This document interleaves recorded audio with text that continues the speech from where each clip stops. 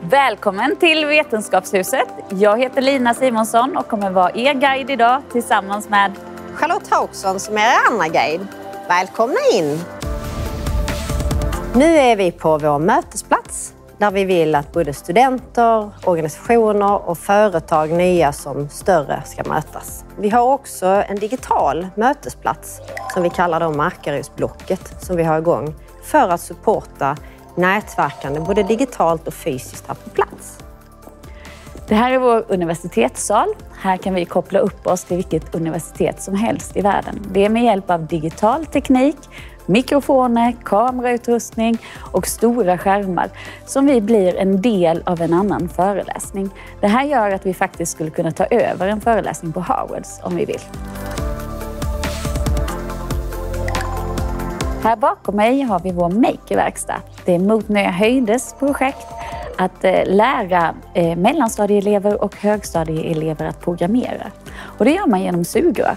Man bygger alltså konstruktioner i sugrör som man sedan programmerar till rörelse.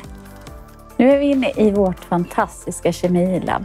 Det här är ett medicinsk-tekniskt labb direkt taget från verkligheten och som nu ges som resurs till vår skolverksamhet.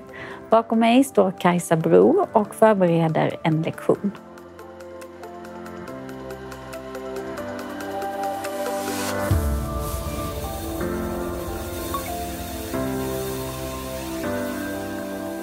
Här är Digipuls som är en tillfällig aktivitet, vilket vi kommer ha i det här huset. Digipuls är ett regionprojekt för att få elever i rörelse.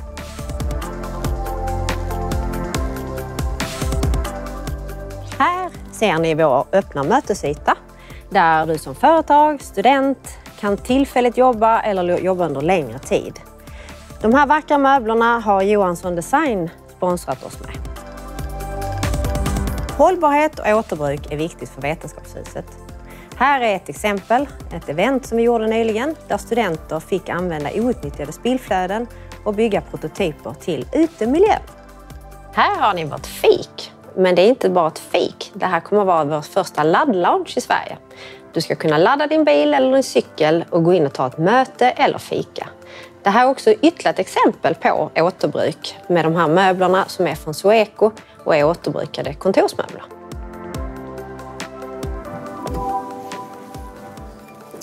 Nu är vi på vår eh, interaktiva utställning Energi i balans. Här utmanar vi elever från högstadiet till gymnasiet att lära sig mer om energi och hållbarhet. Vad är energi? Hur omvandlas energi? Och vilka olika energiformer finns det? Det kan man lära sig här i det här introduktionsrummet till hela utställningen Energi i balans. Nu har vi hamnat i ett av sex stycken utmaningsrum. Det här är om fotosyntesen. Här gäller det att fånga fotoner.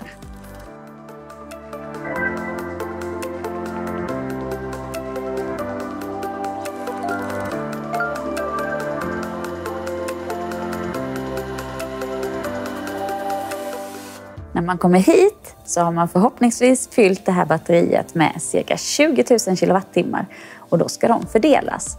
Då ska man fördela hur varmt vill man ha i huset, hur länge vill man duscha och hur mycket skärmtid får man över.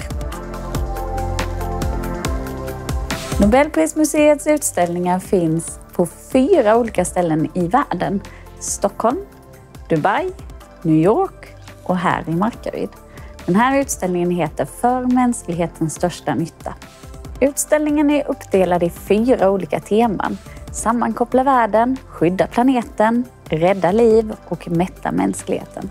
Här har vi skolprogram från förskoleklass till gymnasie. I vår obemannade butik så kan du köpa lokalt producerade produkter från Markaryd och omnejd. Ytterligare ett exempel på hur vi vill skapa tillväxt här i Vetenskapshuset. Det nya inne är att vara ute. Här tänker vi anlägga framtidens arbetsplats, utearbetsplats, tillsammans med då laddloungen här bredvid.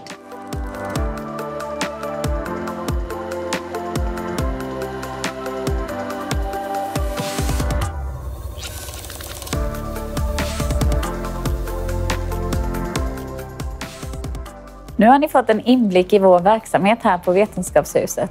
Men ett hus är ingenting utan aktivitet. Så kom gärna och häng med oss!